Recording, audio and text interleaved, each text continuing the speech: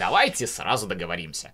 Не надо писать в комментариях, что Стас, это видео Баян, я его три дня... Нет, нет, я его шесть дней назад видел! Мне это не интересно. Я уверен, есть очень много людей, которые еще не видели это видео. Как, например, я, потому что я только вчера смог отвязаться от батареи и добраться до компа. Ну, как маленькие герои этого видео. question is how do democracies respond to those scandals? Uh, and what will it mean for uh, for the wider region? I would be surprised if they do. The Да, вы все правильно поняли. Маленькие детишки решили влезть в кадр посреди интервью с профессором Робертом Келли в прямом эфире на BBC. Вот так и выглядит человек, в жизнь которого неожиданно вошел ребенок. А потом еще один ребенок. А потом еще вот эта азиатка, которая начала утаскивать детей. my apologies.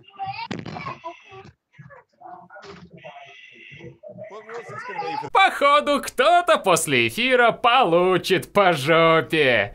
Потому что надо лучше следить за отпрысками хозяина, бесполезная азиатская домработница.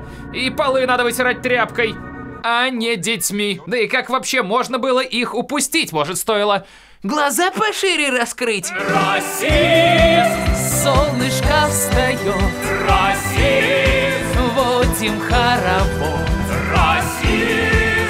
Каждый негр умрет. Расист! Из... Нет, ну это я, конечно, сейчас на самом деле что-то очень плохо сказал. Не негр, а афроамериканец, простите, пожалуйста. Все, все, все, все, шучу я. Ну, я не расист, я просто шутник плохих шуток. А эта женщина не домработница, а его жена, она кореянка. Кстати, в этом контексте забавно, что профессор в интервью рассказывает что-то про Южную Корею. Уж он-то побывал в Корее, причем пару раз без контрацепции. Ну, судя по тому, что происходит в видео. Прости, дорогой, я где-то потеряла транквилизаторное ружье, но придется их оттащить на кухню и просто скалкой оглушить. Мне сейчас сложно представить себе человека, которому стыднее, чем профессору Ричарду Келли. Ну, что его жена не могла применить технику внезапного исчезновения из прямого эфира, как тот э, великий мастер? Szép számmal érkeznek a további üzenetek, idős Balázs. Да все просто подумали, что детей об дверной косяк призраки бьют.